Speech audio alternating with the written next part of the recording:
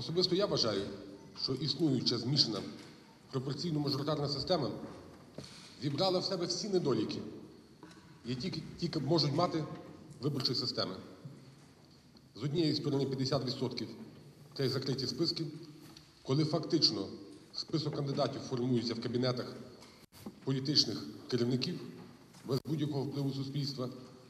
З іншої сторони, 50% мажоритарна система, яка дає величезний шанс для грошових мішків, щоб вони з допомогою підкупу, як говорять гречки, могли перемагати на тому чи іншому окрузі. Нам важливо, щоб ми змогли змінити існуючий стан речей. І тому в коаліційній угоді чітко зазначено, що коаліція має на меті запровадження пропорційної виборчої системи з відкритими списками і виборів міських голів великих міст у два тури та за принципом абсолютної більшості. більшості. Ще 9 лютого цього року ми вперше зібрались з колом експертів, щоб виробити саму філософію закону про відкриті списки. Ми аналізували системи багатьох країн,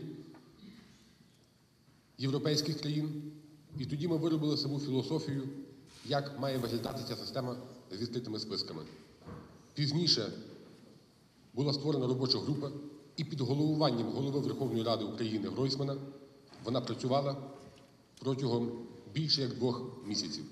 В кінці кінців результатом цієї роботи і став закон України про місцеві вибори 2831-2, який був зареєстрований 28 травня 2015 року. Це результат, наголошую, кількамісячної тривалої роботи одних з найкращих експертів, які є в Україні з виборчого законодавства. І що принципово пропонує новий законопроект?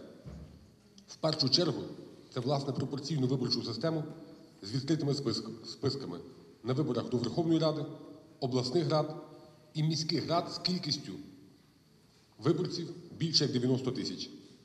Причому виборча система побудована так, що дозволяє урахувати максимальну кількість голосів виборців. Разом з тим, і це є ключове, я на цьому хочу наголосити особливо, в чому є логіка і суть відкритих списків.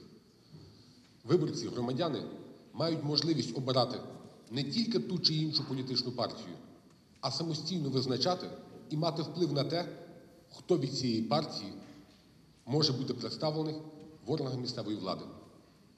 Виборець має можливість самостійно коригувати, хто від партії може стати депутатом в тому чи іншому окрузі.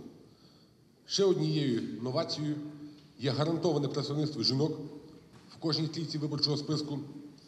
І також це є мажоритарна система відносної більшості в багатомандатних виборчих округах.